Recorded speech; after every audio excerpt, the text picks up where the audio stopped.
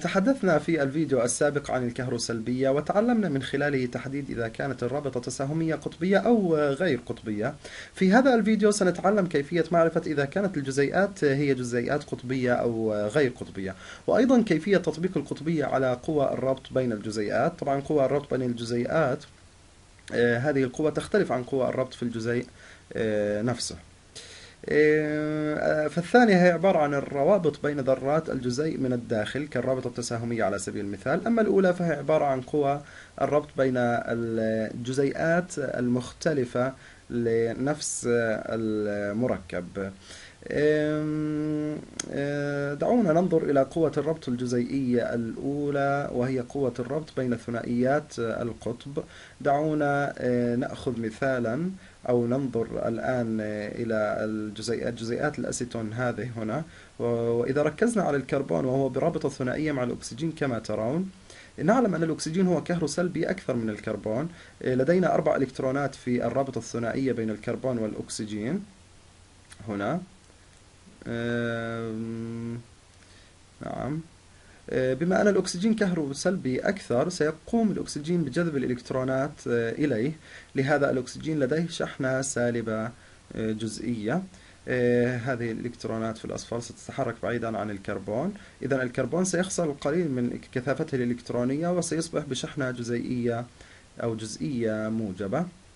لهذا كما نرى أنه يوجد انفصال في الشحنة في هذا الجزيء.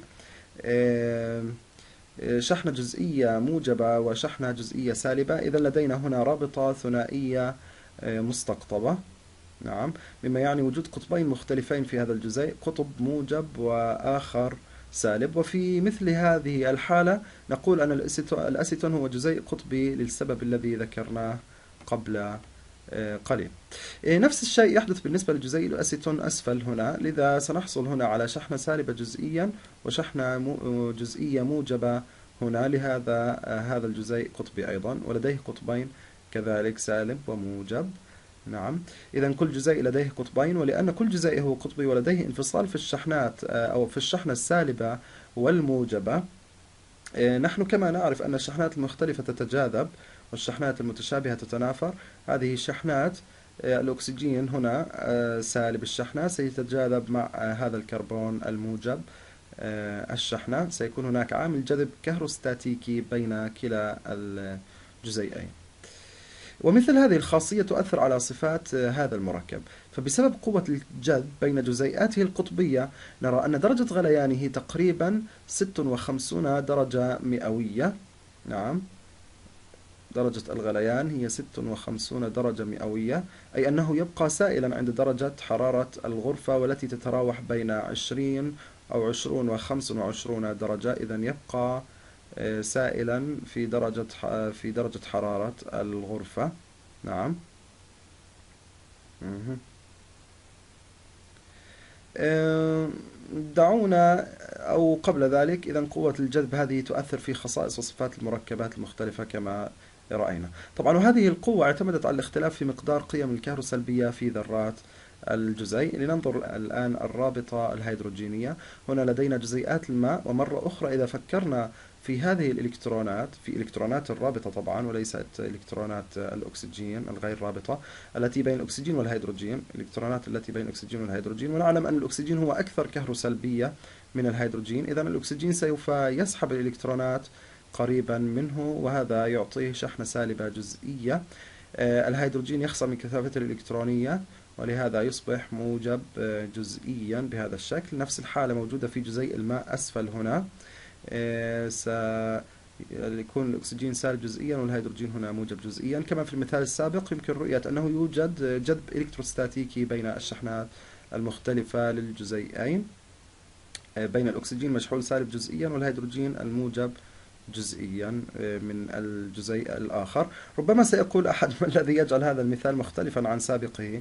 آه، بأسلوب آخر يعني لما آه، هذا الجزيء أو هذه القوة لم تسمى قوة الربط بين ثنائيات القطب طبعا آه، لأن هذه القوة آه، تخص فقط الهيدروجين. وتعرف الكتب الرابطة الهيدروجينية بأنها قوة التجاذب بين ذرة الهيدروجين المرتبطة بذرة فلور أو أكسجين أو نيتروجين في جزيء معين وبين ذرة فلور أو أكسجين أو نيتروجين آه، في جزيء مجاور. كما قلنا قوة التجاذب هذه هي قوة تجاذب بين الجزيئات وليس بداخلها. وتعتبر الرابطة الهيدروجينية هي أقوى أنواع هذه الروابط. نعم إذا الرابط الهيدروجيني هي أقوى أنواع هذه الروابط. طبعا لتمييز الرابطة الهيدروجينية عن قوة التجاذب بين ثنائيات آه، القطب دعونا نرسم هنا. آه، طبعا هو معرفة نوع الذرة التي ترتبط بذرة الهيدروجين في الجزيء. مثلا هنا لدينا ذرة الأكسجين وهي ذات كهروسلبية عالية جدا وهي ترتبط بذرة هيدروجين أخرى. ومن ثم ذرة الهيدروجين تتجاذب مع ذرة أكسجين أخرى من جزيء آخر ويصبح لدينا الآن الشحنة السالبة الجزئية على الأكسجين والشحنة الموجبة الجزئية على الهيدروجين والسالب الجزئية على الأكسجين آه، في الجزيء الآخر. طبعا الرابطة الهيدروجينية تحدثنا أنها لا تحصل إلا بوجود الهيدروجين مع أحد عناصر النيتروجين أو الفلور أو الأكسجين.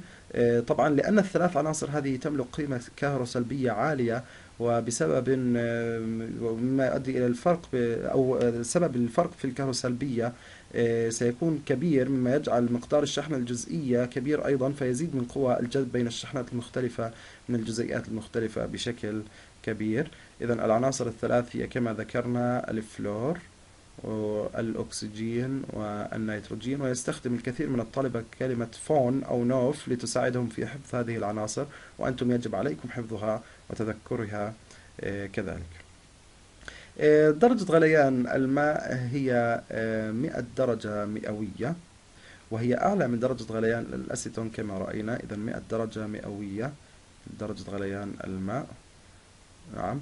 طبعا يعود السبب في ذلك إلى الروابط الهيدروجينية بين جزيئات الماء مما يجعلها بحاجة لطاقة, لطاقة كبيرة لإبعاد الجزيئات عن بعضها البعض وتحول الماء من الحالة السائلة إلى الحالة الغازية. عفوا.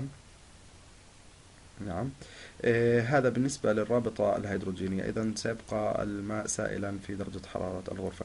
لنتناول الآن قوة الترابط الثالثة بين الجزيئات وهي أضعف القوى وتسمى قوى لندن طبعا وتتواجد هذه القوى بين جميع الجزيئات سواء كانت قطبية أو غير قطبية. وتحدث نتيجة استقطاب لحظي في الجزيء مما يؤدي إلى تولد قطبية لحظية في جزيء آخر نتيجة تقاربها مع بعض من بعضها آه، البعض. آه، فيؤدي إلى قوى تجاذب لحظي فيما بينها أو بينها سماها العلماء قوى لندن. طبعا لنتناول الآن هذا المثال وأنتم تعلمون أن هذا هو جزيء الميثان وهو رباعي السطوح والزوايا بين روابط الكربون فيه تساوي 109.5 درجة.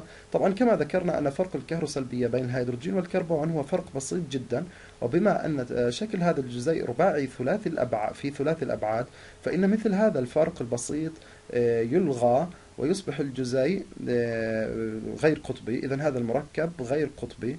لا يوجد قوى تجاذب بين ثنائيات القطب ولا يوجد روابط هيدروجينية بين جزيئاته بسبب عدم قطبيته. إذا الترابط الوحيد الذي يوجد بين جزيئاته هو آه، أو آه، ما تسمى بقوى لندن. طبعا لأن الإلكترونات هي حرة الحركة في مداراتها فمن الممكن في لحظة ما أن يصبح عدد الإلكترونات في أحد جوانب جزيء الميثان أكبر منها في الجانب الآخر ويصبح هذا الجزء هنا يملك شحنة سالبة جزئية.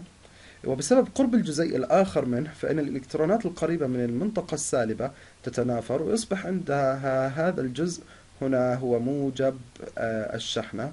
طبعا شحنة جزئية موجبة. آه، من الممكن الآن أن يحدث تجاذبا بسيطا بين هذين الجزئين وهو تجاذب ضعيف جدا كما ذكرنا وهذه هي قوى آه، لندن. نعم. طبعا وبما أن هذه القوة هي الوحيدة بين جزيئات الميثان وهي ضعيفة جدا لذا سنتوقع أن درجة غليان الميثان, ستك... الميثان ستكون منخفضة جدا وهي فعلا كذلك فهي تساوي 164 سالب درجة مئوية. إذا هي 164 سالب درجة مئوية. نعم. بما أن درجة حرارة الغرفة بين 20 و 25 درجة مئوية فإن الميثان على هذه الدرجة سيكون غازا أصلا. إذا سيكون الميثان غاز على درجة الحرارة الغرفة. طبعا قوى لندن تزداد بزيادة حجم الجزيء وكتلته المولية ومساحة سطحه. ومع أن قوى لندن موجودة في جميع الجزيئات قطبية أو غير قطبية إلى أن أهميتها أو أهميتها آه، آه، تكون في الجزيئات الغير قطبية آه، أكبر. ذلك لأنها تصبح القوى الوحيدة التي تعمل على تجاذب الجزيئات إذا كانت غير قطبية. وتوجد هذه القوى أيضا بين دقائق الغازات الحقيقية سواء كانت بحالة ذرية أو جزيئية. إذا تحدثنا في هذا الفيديو عن أنواع قوى التجاذب بين الجزيئات. أتمنى أنها أصبحت واضحة لديكم الآن وأتمنى أني كنت مقدما جيدا لها.